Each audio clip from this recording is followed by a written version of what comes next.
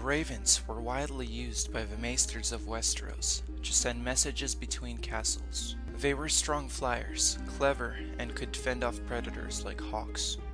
Each castle had ravens that were trained to fly to specific other castles, but a few could fly to more than one location and were prized because of that.